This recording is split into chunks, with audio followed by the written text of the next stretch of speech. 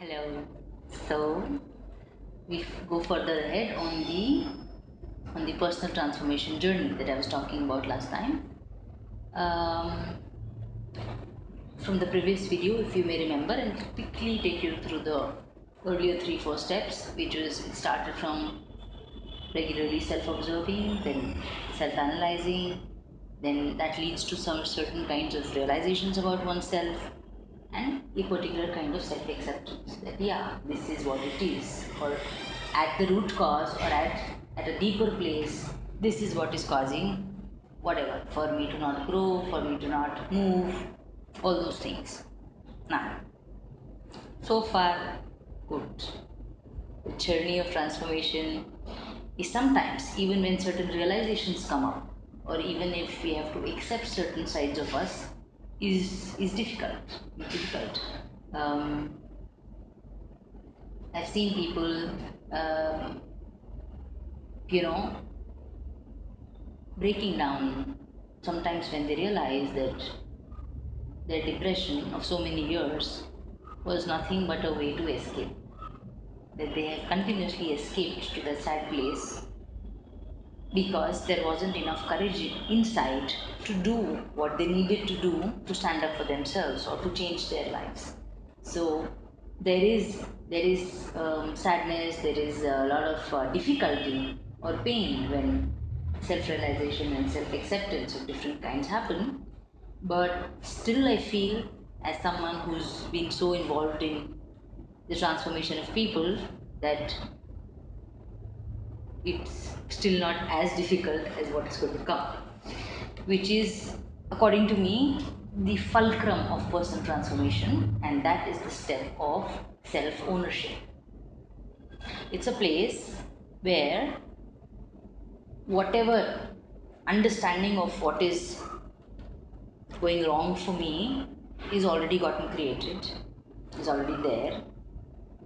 And unlike medicine, that you know, okay, with the doctor and I, I came to know that you know I have malaria and then I will have to take quinine and if I take quinine it will go away. The difficult part in psychotherapy is that there is no quinine. There is no tablet that can quick fix me and everything will go away.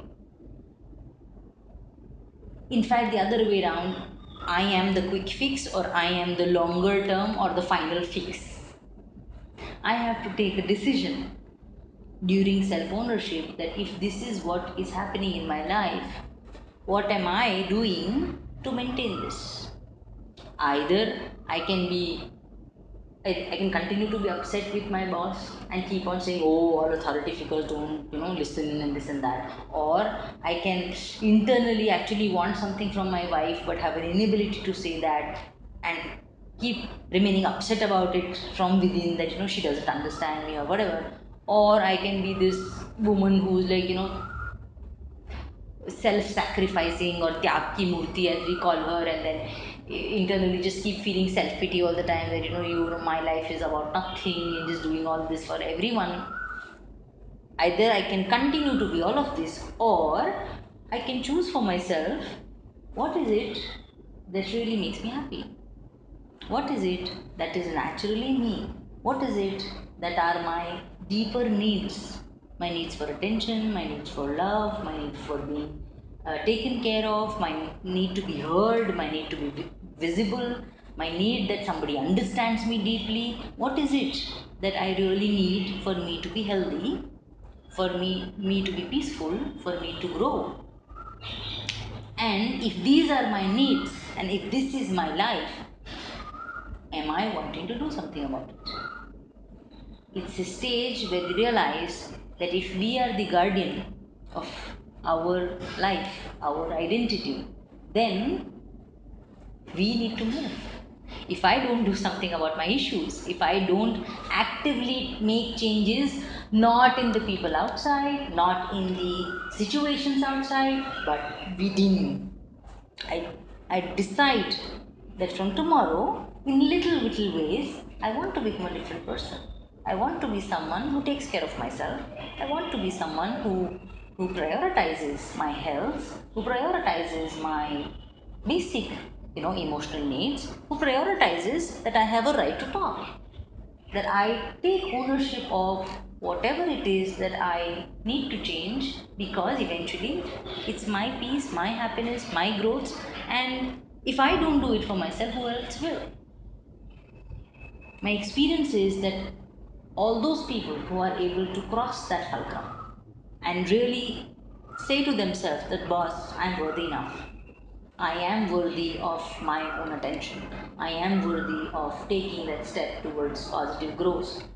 Are the people who will move on in their transformation journeys, and for the ones who, for whatever reasons, give up, don't, you know, feel too scared to become somebody that they are they have not been till that moment are not able to cross over that bridge. Sometimes nothing in life comes for free right? So sometimes for transformation the biggest thing that i have to learn to let go or learn to be okay to lose is my earlier self. I have to be okay to let go of uh, giving myself any reasons any excuses you know holding any unnecessary bitterness I have to stop being that person at all. And I have to learn to be a new person. And for a lot of people, that's so difficult. It's so scary. How do I let go of all that that I have been for so many years? It's just too, it's, it, it may be weird and unhealthy, but I know this. It's comfortable. It's, it's known to me. It gives me security. But then, if I, as a person, if I keep choosing that, how will I grow? all growths, all transformation, like everything else in life, needs risk taking. I need to risk it. Am I worthy of that risk?